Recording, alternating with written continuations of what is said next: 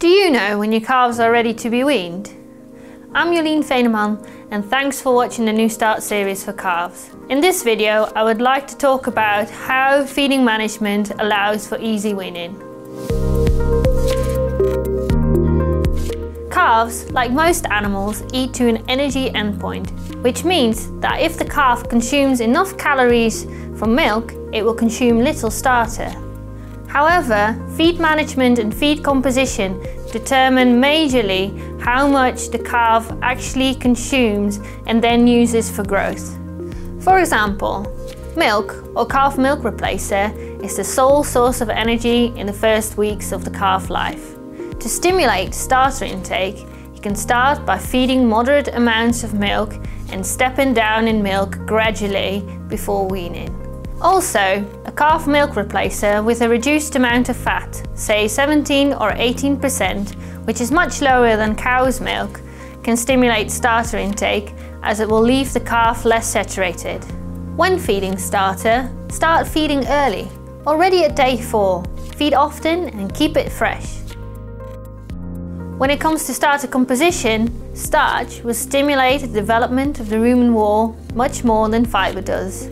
Fibre digestion in these young calves is actually quite limited, so the growth of these calves will mainly come from starch sources. However, too much quickly fermentable starch and no forage can lead to rumen acidosis in these calves, which can lead to malformation of rumen papillae.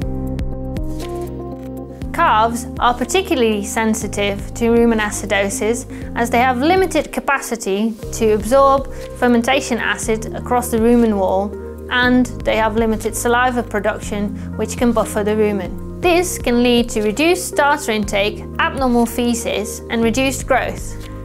The risk is especially large when the meals are finely ground and offered as a meal or a pellet. Providing forage can alleviate these risks effectively. When providing forage, make sure it does not restrict starter intake. So straw is a good source of rumen scratch factor to keep the rumen healthy. A little forage, about 5% of total solid feed intake, can go a long way in keeping the rumen healthy. Make sure it's fresh, free from mould and away from the floor. And if possible, chopped at mouth length. And of course, provide clean, fresh water.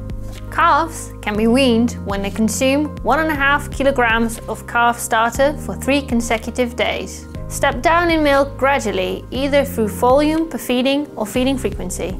Make sure you keep solid feeds the same and refrain from moving pens, mixing group or dehorning or any other stressful event for at least a week to make sure that the calves maintain growth and health. Do you want to be sure weaning was successful?